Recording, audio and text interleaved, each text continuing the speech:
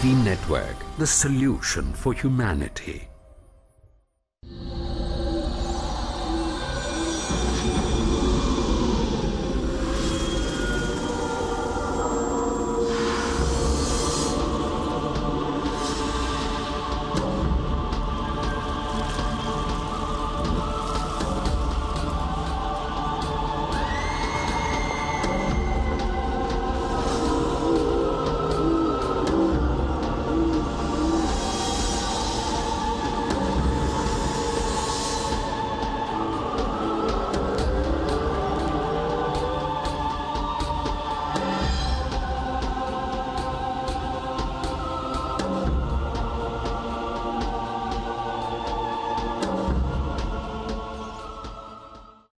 السلام عليكم ورحمة الله وبركاته إن الحمد لله نحمده ونستعينه ونستغفره ونصلي ونسلم على نبيه الكريم وعلى آله وأصحابه أجمعين ومن تبعهم بإحسان إلى يوم الدين أما بعد PST বাংলার সম্মানিত সুদী দর্শকবৃন্দ আপনারা পৃথিবীর যে প্রান্ত থেকে বসে আমাদের সাথে এই অনুষ্ঠানে যোগ দিয়েছেন সকলের জন্য রইল প্রাণ ঢালার শুভেচ্ছা আল্লাহ তবরক ও তালার মহান দরবারে প্রার্থনা।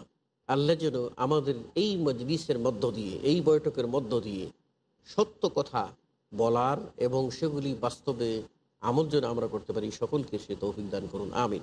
শুধু দর্শক, আজকে যে বিষয়টি আলোচনা করব, তার মূল প্রতিপাদ্য বিষয় হলো পাপের অশুভ পরিণাম। আর তন্মধ্য হতে একটি পাপ আজকে আলোচনা করব, সেটি হলো আত্মীয়তার সম্পর্ক ছেদ করা, নিকট আত্মীয়দের সম্পর্ক। এবং তার সাথে যুক্ত হতে পারে প্রতিবেশীর সম্পর্ক। এটি অত্যন্ত একটি গর্হিত অপরাধ। বিজ্ঞ আলোচকদের আলোচনায় সেটি কিন্তু ফুটে উঠবে, প্রত্যাশা তাই।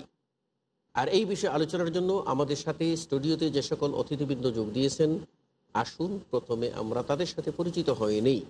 প্রথমে আমার সর্বডানে যিনি আছেন, তিনি হলেন শেখ কাসেম আব্বাস। আসসালামু আলাইকুম রহমতুল্লাহ আর আমার ডানে আছেন শেখ শহীদুল্লাহ খান মাদানী। আসসালামু আলাইকুম রহমতুল্লাহ আর আমার বামে আছেন শেখ মুখলেস বিন আরশাদ। আসসালামু আলাইকুম রহমতুল্লাহ বারাকাত আর আমার সর্বমে আছেন শেখ আকরামুজ্জামান বিন আব্দুসালাম আসসালামু আলাইকুম রহমতুল্লাহ বারাকাত আর আপনাদের সাথে রয়েছি আমি খুদে অকিঞ্চন হারুন হোসেন। শুধু দর্শক কিন্তু যে কথা আমরা বলেছিলাম যে আত্মীয়তার সম্পর্ক প্রথমেই আমরা আলোচনার জন্য আহ্বান জানাব। আত্মীয়তার সম্পর্ক কি? আত্মীয়তার সম্পর্ক বলতে কি বুঝায়? এই ব্যাপারে আলোচনার জন্য আমি প্রথমেই আহ্বান জানাব শেখ আকরামুজ্জামান। আলহামদুলিল্লাহ। আল্লাহ তবরকতলা তার বান্দাদেরকে সৃষ্টি করেছেন এবং তিনি বান্দা সৃষ্টি করেছেন এবাদতের জন্য। আর বান্দাদের ক্ষেত্রে আল্লাহ তবরকতলা যে আমাদের এবাদতের নিয়ম বলেছেন, সেটা হলো তার আদেশ পালন। আদেশ পালনের ব্যাপারে আমরা যদি দেখি যে সমাজ এবং আত্মীয় স্বজন ইত্যাদি, এই ব্যাপারে আল্লাহ তবরকতলার একটা নির্দেশনা আছে। সুরা নেশার শুরুর দিকেই আমরা আয়াত উল্লেখযোগ্য এখানে। ইয়া ইউহান্নাসুত্তাকুর রব্বাকুমুল্লাযী খালাকাকুম মিন নাফসিন ওয়াহিদা। وخلق منها زوجها وبث منهما رجالا كثيرا ونساء واتقوا الله الذي تساءلون به والأرحام আল্লাহ তবরকতলা মানুষকে সৃষ্টি করেছেন একজন নর এবং নারী থেকে এবং এখান থেকে আল্লাহ তবরকতলা আত্মীয় স্বজন বের করেছেন এবং- হ্যাঁ, অনেক হ্যাঁ, অনেক পুরুষ এবং নারী বের করেছেন এখানে যেটা আমাদের উল্লেখযোগ্য মানে অংশ সেটা হলো আল্লাহ তবরকতলা তাকে ভয় করার সাথে সাথে। তোমরা আল্লাহকে ভয় করো। আল্লাযী তাসাআলুনা বিহি। যে আল্লাহ তবরকতলার দোহাই দিয়ে এক অপরের কাছে তোমরা কিছু তলব করো ওয়াল আরহাম এবং তোমাদের আত্মীয়দেরকে ভয় করো। আত্মীয়দেরকে কীভাবে ভয় করবে? আল্লাহকে ভয় করার মতো? না। আল্লাহকে ভয় করার সিস্টেম হলো এক ধরনের। আর আত্মীয়দেরকে ভয় করা মানে কি? সম্পর্ক ছিন্ন করা। এটাই হলো আত্মীয়দেরকে ভয়ের কারণ। যদি আমি আত্মীয়তার বন্ধন ছিন্ন করি, ক্ষুণ্ণ করি, সম্পর্ক ত্যাগ করি, তাহলে এই ক্ষেত্রে আল্লাহ তবরকতলার নির্দেশ লঙ্ঘন করাতে আল্লাহ তবরকতলার অসন্তোষ ভাজন আমরা হয়ে যাব। এবং আল্লাহ আপনাকে। অসন্তোষ ভাজন হইলে আমাদের সর্দিয়াবাজন শেখ অনেক সুন্দর কথা বলেছেন। তার সাথে সাথে কোরআনে আর একটি আয়াত আমি এখানে উল্লেখ করতে চাই। আল্লাহ পাক রব্বুল আলম কাছে ইন্না খলাক নাকুম আমি তোমাদের সৃষ্টি করেছি গোত্রে গোত্রে সৃষ্টি করেছি। মানে তোমাদের মাঝে গোত্র বানিয়েছি একটা দল বানিয়েছি একটা খানদান যেটাকে বলা হয়। কোনো এলাকায় খানদান বলে কোনো এলাকায় বংশ আমরা বাংলা ভাষায় বংশ ব্যবহার করি। তো এই যে বংশ এটা কিন্তু একটা বিরাট বড় নিয়ামত।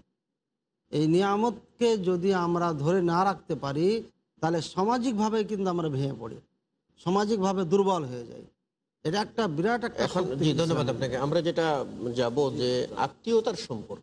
আত্মীয়তার সম্পর্ক এটা কীরকম সম্পর্ক আর যে সম্পর্কের উপরে আল্লাহ কি ওয়াদা করেছে আসলে মোহতারাম খুব সুন্দর কথা বলেছেন আপনি। সহি বুখারির হাদিসেও এসেছে লাম্মা খালাক আল্লাহ আল খালকা ও ফারাকা আল্লাহ রাবুল্লাহ আলমিন যখন মানব জাতিকে সৃষ্টি করলেন সৃষ্টি করার পর অথবা সৃষ্টি বস্তুকে সৃষ্টি করার পর সেই সুযোগে আত্মীয়তার যে একটা সম্পর্ক রয়েছে রক্তীয় সম্পর্ক এটাও আল্লাহর মখলুক। জি এটাও আল্লাহর মাখলুক। রক্তীয় সম্পর্ক সেই মুহূর্তে আল্লাহ হওয়া তালার কাছে আবেদন করে বসল যে হে আল্লাহ এই মুহূর্তটি হচ্ছে উপযুক্ত মুহূর্ত। আপনার কাছে আবেদন করার যেন আমার সাথে সম্পর্ক কেউ ছিন্ন না করে। আল্লাহ সুবহান তাল্লাহ বললেন যে হ্যাঁ এটি ঠিক আছে কোনো অসুবিধা নেই বলো তুমি কি চাও? তখন আল্লাহ সুবহান তাল্লাহ বললেন যে আমি বলতে চাই যে যে তোমার সাথে সম্পর্ক বজায় রাখবে আমি তার সাথে সম্পর্ক বজায় রাখব। যে তোমার সাথে সম্পর্ক ছিন্ন করবে আমি তার সাথে সম্পর্ক ছিন্ন করব। বিষয়টি সহজ কথা নয়।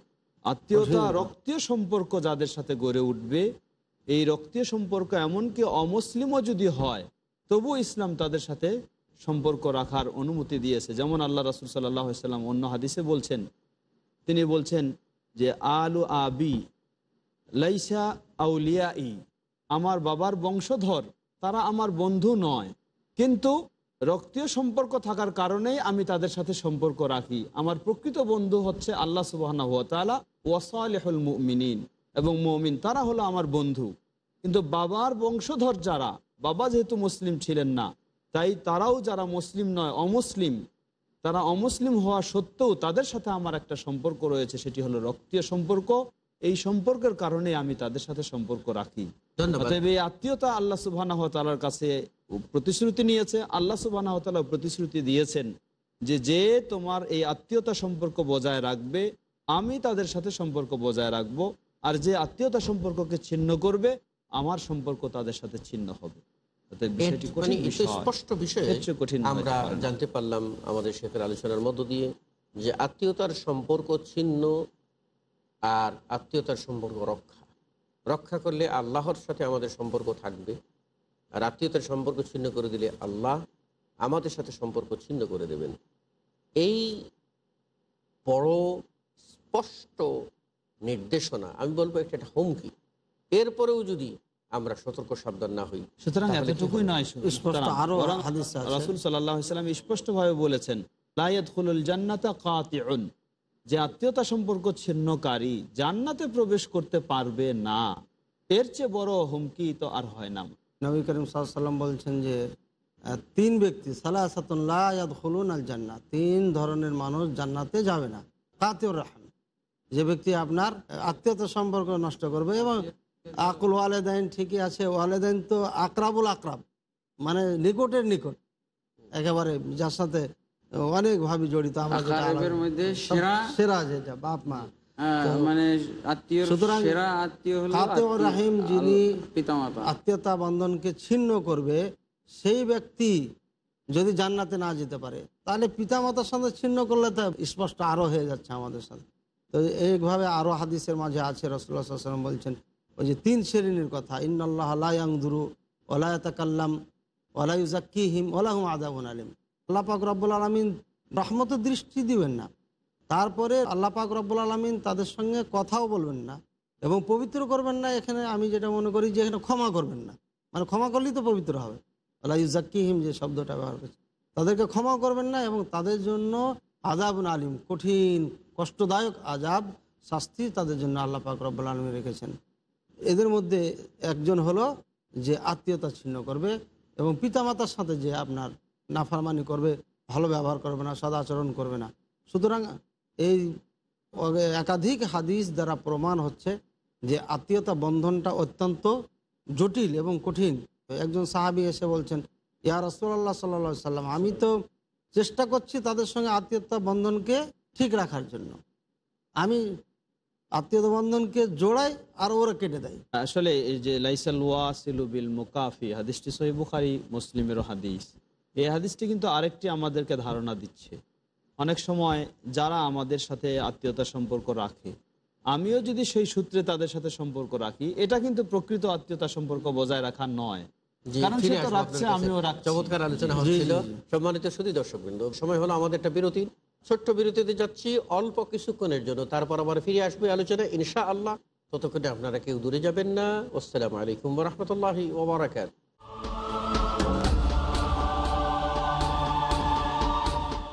উপযুক্ত জ্ঞান।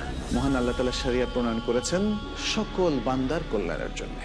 যথাযথ প্রজ্ঞা শরিয়া প্রণয়নের একটা ব্যাপক এবং সার্বজনীন উদ্দেশ্য হচ্ছে সকল মানবতার এবং সকল বান্দার কল্যাণ সাধন। ডক্টর মঞ্জুর ইলাহি। প্রত্যেকটা ক্ষেত্রে শরিয়ার একটা রুলিংস আছে একটা বিধান আছে। ন্যায়সঙ্গত বিচার ও শান্তি। এবং শরিয়া কীভাবে মানুষের কল্যাণ নিশ্চিত করেছে সে বিষয়টা আমরা ইনশাল্লাহ এখানে আলোচনা করব। চলুন আমাদের জীবন আরও ন্যায় নিষ্ঠ ও সন্তোষজনক করতে শিখি। দেখুন মানবতার কল্যাণে ইসলামী সারিয়া। প্রতি শুক্রবার রাত সাড়ে আটটায় বা পুনঃ সম্প্রচার সকাল সাতটায় বাংলাদেশে বিস টিভি বাংলায়। উত্তম ব্যবহার। তোমরা মানুষের সাথে উত্তম কথা বলো সঠিক কথা বলো। সুন্দর অনুষঙ্গ সহনশীলতা। এমন ধরনের আচরণ হবে না এমন ধরনের কথা হবে না যে কথার মাধ্যমে সে কষ্ট পাবে।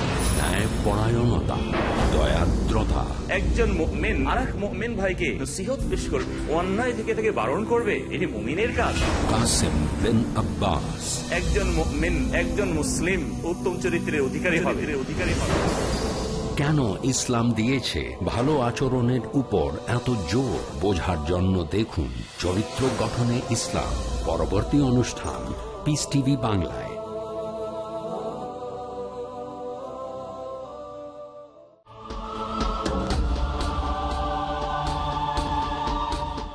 আসসালামু আলাইকুম রহমতুল্লাহ বারকাত সুদী দর্শকবৃন্দ, বিরতির পর আপনাদেরকে স্বাগতম। এতক্ষণ আপনারা আমাদের সাথে ছিলেন, সেজন্য অসংখ্য ধন্যবাদ। যেটা আমরা আলোচনা করতেছিলাম শেখ শহীদুল্লাহ খান মাদানী বলতেছিলেন যে আত্মীয়তার সম্পর্ক রক্ষার মানদণ্ডটা কি? চমৎকার একটা ঘটনা তিনি বলছিলেন জি। যে হাদিসটি সহি বুখারির আল্লাহ রসুল সাল্লাম বললেন লাইসাল ওয়াসিল বিল মুকা। অর্থাৎ একজন আপনার সাথে আপনার এক আত্মীয় আপনার সাথে ভালো সম্পর্ক রাখে। আপনিও তার সাথে সেই সূত্রেই ভালো সম্পর্ক রেখেছেন। এটা কিন্তু প্রকৃতপক্ষে আত্মীয়তা সম্পর্ক রাখা সম্পর্ক। বজায় এটা সহজ। কারণ এটা তো এমনিই রাখবেনই আপনি। যেহেতু সে আপনার সাথে যেহেতু সে আপনার সাথে ভালো রাখছে সম্পর্ক আপনিও রাখবেন। বরং প্রকৃত আত্মীয়তা সম্পর্ক বজায় রাখা হলো সেটা যে আপনার সাথে সম্পর্ক রাখতে চায় না এরপরও আপনি তার সাথে আত্মীয়তা সম্পর্ক বজায় রাখছেন। এটা হচ্ছে প্রকৃত আত্মীয়তা সম্পর্ক বজায় রাখার বিষয়। যে লোকটি আপনার সাথে আত্মীয়তা সম্পর্ক রক্ষা করতে ছিন্ন চাচ্ছে করতে চাচ্ছে ছিন্ন করতে চাচ্ছে। ছিন্ন করবেন না। আপনি তবু তার সাথে ছ- এবং সম্পর্ক সেটি রাখতে হলো সবচেয়ে কঠিন একটা এটাই হলো আসল আত্মীয়তা সম্পর্ক রাখার বিষয়। মানে ব্যাপারটা হচ্ছে এরকম যে আমার কাছে আসে আমি তার কাছে যাব যে আমার কাছে হাদিয়া নিয়ে আসে আমি তার হাদিয়া নিয়ে যাব আমি তাকে দেখতে যাব। এটা এটা সাধারণ নিয়মে কিন্তু আপনি ব্যতিক্রম কি করতে পারলেন? যে ওই সিলমান কথা যে আপনাদের সম্পর্ক ছিন্ন করে তার সাথে আপনি সম্পর্ক বজায়। হারামা।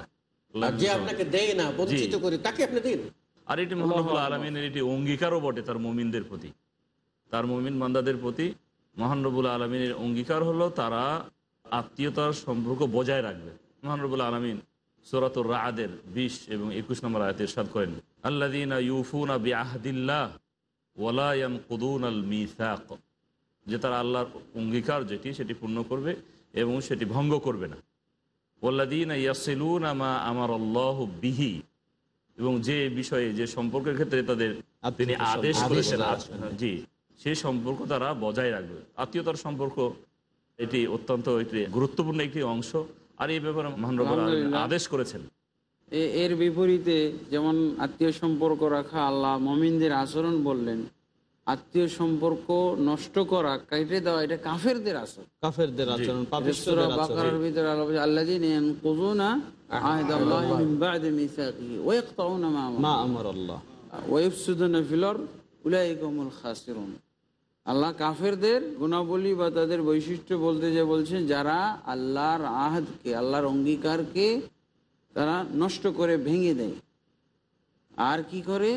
যাদের সাথে আত্মীয়তার সম্পর্ক রাখার তাদেরকে আদেশ দেওয়া হয়েছে। সেটা তারা ছিন্ন করে ফেলবে এবং এভাবে তারা দুনিয়াতে বিপর্যয় সৃষ্টি করে।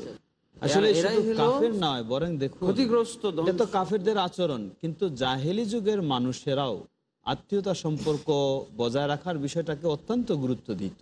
মর্যাদা যার কারণে ওই যে সেই হেরাকলে রোমে রাসুল সাল্লাহ আলহিহাস্লাম যখন রোমের মহান সম্রাটের কাছে চিঠি পাঠালেন দাওয়াত দেওয়ার জন্য, সেই সময় তিনি খুঁজে বের করলেন সেই মক্কার কে আছে এখানে, খুঁজে পেলেন আবু সুফিয়ানকে। তাকে জিজ্ঞাসা করলেন যে তিনি, যিনি নবী হিসাবে এসেছেন, তিনি কি দাওয়াত দেন? তখন বললেন যে তিনি দাওয়াত দেন, ইয়া উমর বিসালাতে ওয়াসাদাকাতে ওয়াসিলাতে তিনি এই সমস্ত বিষয়গুলি দাওয়াত দেন। কারণ মক্কা জাহেলি যুগে তাদের কাছেও গুরুত্বপূর্ণ একটি বিষয় ছিল আত্মীয়তা সম্পর্ক বজায় রাখা। আল্লাহ নবী সেটারই উপদেশ। সেই বিষয়টি আচ্ছা এখানে আপনার ওই আয়াতটা দ্বারা একটা জিনিস আমার কাছে যেন স্পষ্ট দর্শকদের জ্ঞাত করতে চাই। সেটা হলো এই যে আত্মীয়তার সম্পর্ক রক্ষা করা আল্লাহর অঙ্গীকার। আমাদের সাথে অঙ্গীকার নিয়েছেন আমাদেরকে আদেশ করেছেন। আর একদল লোক আছে যারা আল্লাহর এই অঙ্গীকারকে ভঙ্গ ভঙ্গ করে। আত্মীয়তার সম্পর্ক ছেদ করে। এরা হচ্ছে জমিনে ফাসাদ সৃষ্টিকারী। আর এখন বর্তমান এই আধুনিক সভ্য সমাজটা এরকম হয়ে গেছে যে আত্মীয়তার সম্পর্ক ছেদ করার কারণে একরকম বর্বর সমাজে পরিণত হয়েছে এটাও যে সামাজিক বিপর্যয় সামাজিক যে ধ্বংস এটারই এটা অন্যতম কারণ মনে হচ্ছে আর। যেটা হলো এই যে পাপ এটা বড় কবিরা গুণা তার এটা প্রায়শ্চিত্ত তার এটা অশুভ পরিণাম। অগ্রাধিকার দিতে হবে এই বিষয়কে সামাজিক যে বন্ধন আল্লাহ তবরকতলা এবং রসুল সাল্লাম আমাদেরকে জুড়ে দিয়েছেন গড়ে দিয়েছেন এটাকে সব কিছুর উপরে সব কিছুর ঊর্ধ্বে মর্যাদা দিতে হবে। কিন্তু দুর্ভাগ্য যে আমরা অনেক সময় বিভিন্ন রাজনৈতিক কারণে আমার নিজের ভাইকে বিভিন্ন ধরনের ফেসাদে জড়িয়ে দিচ্ছি। অর্থের জন্য হত্যা করছি। হুম। সম্পদের জন্য সম্পদের কারণে। পারিবারিক কলহ এমন ভাবে দানা বেঁধেছে যে খুন খারাপের মতো পাপে মানুষ জড়িয়ে পড়তেছে এটা হলো আত্মীয়তার সম্পর্ক রক্ষা না করারই কুফল। এটা না বুঝার এবং আল্লাহর কোরআনের প্রতি আমাদের ইমান না থাকার একটা দিক। আসলে দেখুন আল্লাহ সুবাহ বিষয়টাকে কীভাবে জড়িয়ে দিয়েছেন জান্নাতের সাথে? মানুষ সাধারণত উপস্থিত যে সুবিধাটা পায় সেটাই সে গ্রহণ করতে চায়। একজন মানুষ তার একটা ধনী আত্মীয় হলে তার কাছে কিছু পাবে সেখানে স্বার্থ রয়েছে তার সাথে স্বাভাবিকভাবে যোগাযোগ সে নিজে জোর করে যোগাযোগ রাখার চেষ্টা করবে যেহেতু কিছু পাবে। কিছু আশা আছে। কিন্তু একজন দরিদ্র আত্মীয় যদি হয় যদিও খুব রক্তের ঘনিষ্ঠ সম্পর্কের কিন্তু সে দরিদ্র। মানুষ তাকে সবসময় দূরেই রাখার চেষ্টা করবে। কিন্তু ইসলাম বলে দিয়েছে লায়াদুল জান্নাতে কাতিউন। এই আত্মীয়তা সম্পর্ক ছিন্নকারী জান্নাতে যেতে পারবে না। তাহলে এই একজন মানুষ স্বার্থবাদী সুবিধাবাদী মানুষ যদি সে জান্নাতের আশা করে তাহলে তাকে বাধ্য হয়ে ধনী আত্মীয় হোক আর দরিদ্র হোক তার সাথে সম্পর্ক রাখতেই হবে। আচ্ছা আরেকটা বিষয় এখানে আমরা দেখতে পারি যেটা হলো যে হায়াতে বরকতের বেলায়ও আল্লাহ রসুল জি জি জি খুব সুন্দর কথা বলেছেন। যেটি সহি বুখারীর হাদিস? আল্লাহ রাসূল সাল্লাল্লাহু আলাইহি ওয়াসাল্লাম বলেন, যে যে চায় তার রেজেকে বরকত হোক বৃদ্ধি হোক এবং তার আয়ুতে বৃদ্ধি হোক আয়ুতে বৃদ্ধি সে যেন তার আত্মীয়তার সম্পর্ক এখানে একটা সাথে দিক আমাদের উল্লেখ করা প্রয়োজন মনে করছি সবার উপকারের জন্য। যে আত্মীয়টা ছিন্ন হয়ে যাওয়ার কারণ কি? নিজের ভাই তো অপার না কিন্তু তারপরে ভাইয়ের সাথে সম্পর্ক ছিন্ন হয়ে যায় বোনের সাথে হয়ে যায় আপনার ঘনিষ্ঠ যারা আত্মীয় একেবারে এইগুলোর কারণে আজকে আত্মীয়টা কিন্তু নষ্ট হচ্ছে। এটাকে আলাদা একটা আমার সুবিধা এবং অসুবিধার দিক দেখতে হবে। কোনো কিছুর সাথে এটাকে রিলেটেড জড়িত করা যাবে না। এটা যেহেতু আমাদের একটা সোয়াবের খাত আর একটা হলো গুনার খাত একটাই জি, জিনিস। মহান রব্বুল এই আলামিন- দিকটা চিন্তা করতে হবে। যে মোহান রবুল আলমী যখন আদেশ করেছেন এদিকে আমাকে প্রাধান্য আগে দিতে হবে। কিছু না পেলেও সম্পর্ক কিছু যদি আমি নাও পাই তার কাছ থেকে তার সাথে সম্পর্ক আমাকে রাখতেই হবে। হ্যাঁ, অপর পক্ষে ভীতি প্রদর্শন করেছেন বিভিন্ন আজাবের কথা বলেছেন। যদি আমরা সোরা মোহাম্মদের বাইশ এবং তেইশ নম্বর আয়াত তাহলে এখানে মহানবুল আলমিন যারা পৃথিবীতে ফেতনা ফাসাদ সৃষ্টি করে এবং সম্পর্ক ছিন্ন করে দেয়।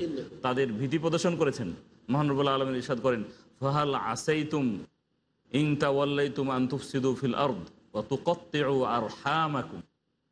যে তোমরা কি ওই পৃথিবীতে ফেতনা ফাসাদ সৃষ্টি করতে চাও এবং তোমাদের আত্মীয়তার সম্পর্ককে ছিন্ন করতে চাও এরপরে মহানবুল আলম তাদের আজাবের কথা বলেছেন উলাইকাল্লাদিন লানাহুমুল্লাহ এদের প্রতি হলো আল্লাহ তালার অভিসম্পাত লানত বা আসম্মাহুম আল্লাহ তালা তাদেরকে বধির করে দেবেন। কালকে আমাদের যে শাস্তি যে তারা এক তো ফেতনা ফাসাদ সৃষ্টি করেছে দ্বিতীয়ত তাদের আত্মীয়তার সম্পর্ক। যে সম্পর্ক মহান রবুল্লা আলমিন রাখতে বলেছেন। রাখতে বলেছেন।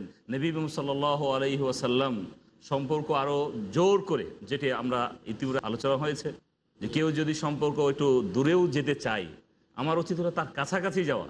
ও আমা আবু সরহুম এবং তাদের দৃষ্টিশক্তিকে অন্ধ করে অন্ধ করে দেবেন তার এই যে আজাব এই আজাব থেকে পরিত্রাণের জন্য আমাদের এই দিকগুলি অবশ্যই আলোচনা করা উচিত যে আমি দুনিয়াতে হয়তো বা আমার স্বার্থের জন্য যে সম্পর্ক এই সম্পর্কের চেয়ে এখানে একটা জিনিস আমি বলতে পারি যে এই যে আত্মীয়তার সম্পর্ক বিচ্ছিন্ন মানুষ কেন করে? স্বার্থের কাছে অন্ধ হয়ে যাওয়ার কারণে। এই স্বার্থের কাছে যে অন্ধ হয়েছে বিবেককে সে রুদ্ধ করে দিয়েছে চক্ষুকে সে বন্ধ করে ফেলেছে আল্লাহ তার পরিণাম স্বরূপ ওদেরকেও বদির বানিয়ে দেবেন ওদেরকেও অন্ধ বানিয়ে দেবেন। কারণ স্বার্থের কাছে অন্ধ না হইলে মানুষ আল্লাহর নির্দেশকে লঙ্ঘন করতে পারে না। তারপরে অনেক সময় হয়তো ভুল বুঝাবুঝি হতেও পারে। এটা মনের ব্যাপার তো আল্লাহর হাতে মানুষের মন। এটাকেও ইসলাম কন্ট্রোল করেছে। আল্লাহ রসুল এটার ক্ষেত্রে একটা সীমারেখা দিয়ে দিয়েছেন। আল্লাহ রসুল সহাসনা বলছেন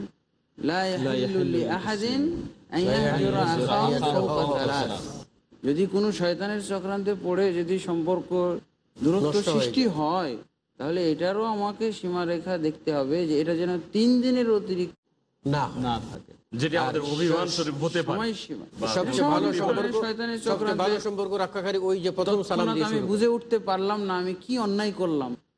তো এই তিন দিন আল্লাহ রসুল সময় দিয়েছেন এর মধ্যেই সমাধান করে ফেলতে হবে। এমনকি আমরা এই যে আল্লাহ রসুল সাল্লামের হাদিসে পাওয়া যায় মুসলিম শরীফ সুনান নসাই ইত্যাদি গ্রন্থে আছে যে আল্লাহ তবরকতলা প্রত্যেক সোমবার এবং বৃহস্পতিবার বান্দাদেরকে ক্ষমা করেন। হ্যাঁ ক্ষমা করেন এবং আমল উঠান। কিন্তু একমাত্র যারা পরস্পরে বিদ্বেষ রাখে এদেরকে আল্লাহ ছেড়ে দেন। যতক্ষণ পর্যন্ত পরস্পরে তারা সমাধান না হাদিসের ভিতরে আছে যাদের ভিতরে এই ধরনের আহ, ইল্লা পারস্পরিক কানা বাইনাহু ওয়া বাইনা আখিহি শাহনা। শাহনা। এদের- মুশরিক আর আর ওই ব্যক্তিকে ক্ষমা করা হয় না যে ব্যক্তি মুশরিক এবং যে ব্যক্তি তার ভাইয়ের সাথে হিংসা বিদ্বেষ সমাধান আমরা কয়েক সেকেন্ড সময় পাবো তার ভিতরে জানতে চাইব। যেটা হলো রসুল সাল্লাম আমাদেরকে জান্নাতে যাওয়ার সহজ উপায় বলে দিয়েছেন। যে চারটি কারণ কথা বলেছেন যে এই চারটি আমল যদি আমাদের ভিতরে থাকে যেমন পরস্পরের সালাম বিনিময়ে খাদ্য খাওয়ানো এরপরে বলেছেন যেখানে ওসিলুল আরহাম। জি ওসিলুল আরহাম। এই প্রসঙ্গে। সালাম এই কাজগুলো করলে আমরা শান্তিপূর্ণ ভাবে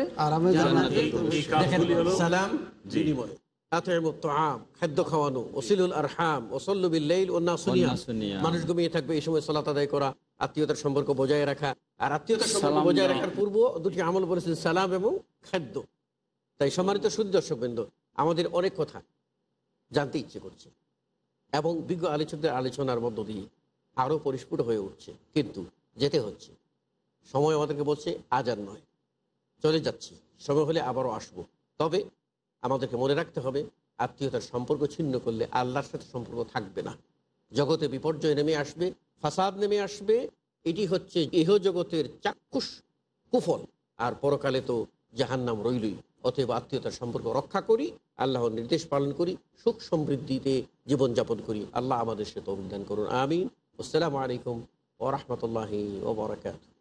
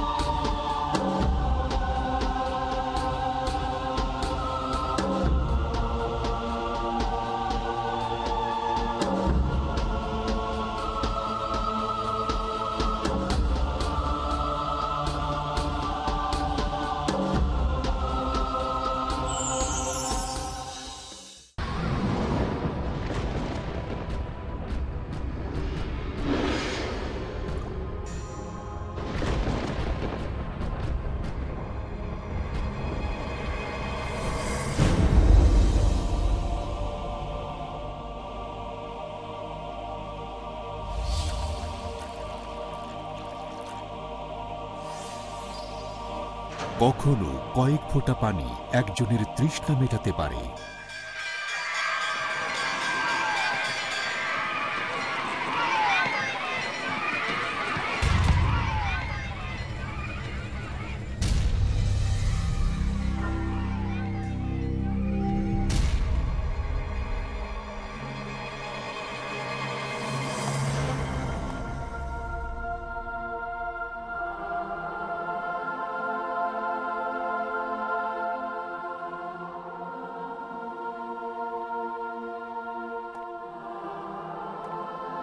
কখনো একটি সাহায্যের হাত মানুষের মুখে হাসি ফোটাতে পারে।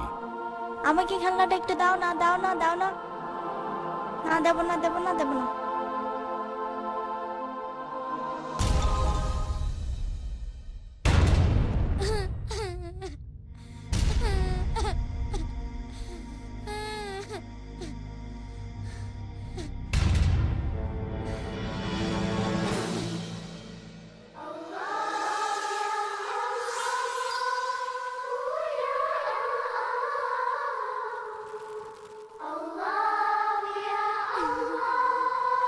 কখনো সামান্য একটি উপহার হতে পারে মহামূল্যবান।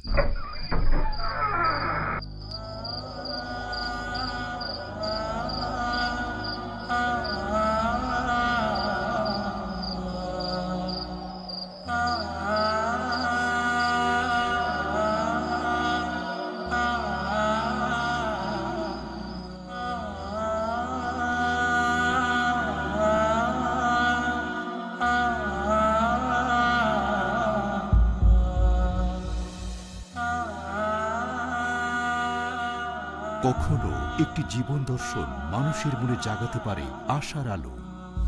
তবে আমাদের জীবনের সবচেয়ে গুরুত্বপূর্ণ হলো পেছনে ফেলে আসা আমাদের পদচিহ্ন। মুক্ত হস্তে দান করুন, সেই পদচিহ্নই রেখে যান যেভাবে স্রষ্টা আমাদের জীবনটাকে পরিচালিত করতে বলেছেন। পিস টিভি মানবতার সমাধান। আপনাদের ডোনেশন আর জাকাত পাঠিয়ে দিন। পিস টিভিকে সমর্থন করুন। ডোনেশন এবং জাকাত পাঠানোর ঠিকানা IRFI Al Rayan bank quadrant code আটচল্লিশ Calthorpe road Birmingham UK post code B one five one TH sort code three zero double zero eight three swift BIC code I BO BGB double two IBAN GB five two LYD three zero nine six three four zero one zero two four one nine two pound account number zero double one three two three zero one euro account number zero double one three two three zero two US dollar account number zero double one three two three zero three টাকা পাঠিয়ে আমাদের email করুন admin at the rate Peace TV dot TV Peace TV মানবতার সমাধান।